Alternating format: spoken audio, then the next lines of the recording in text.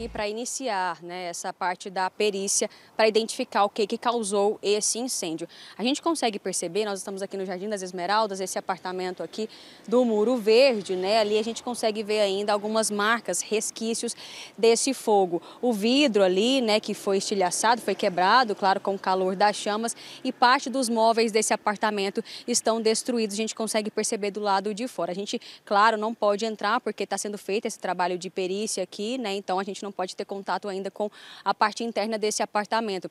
Esse incêndio começou por volta das 7h40, 8 horas da noite de ontem. Conversando com alguns vizinhos aqui, eles me disseram o seguinte, que esse jovem estava dormindo e ele acordou provavelmente já com o fogo. E aí, com a fumaça, ele não conseguiu ir até a porta, não conseguiu enxergar a porta, ficou desesperado e ele fez o quê? Veio para a janela. E aí ele tentou passar nesse vão da grade entre a janela, mas é um vão muito estreito, ele acabou ficando preso.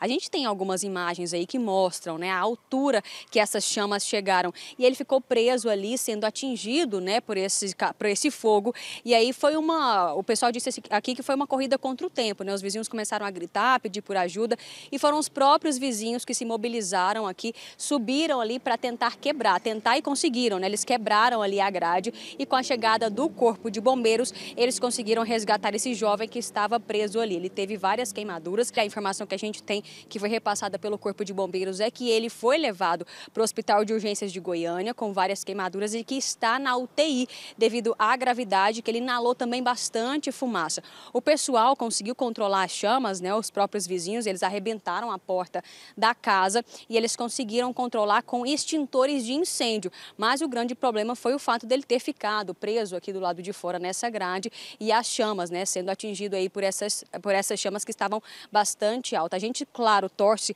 pela plena recuperação desse rapaz.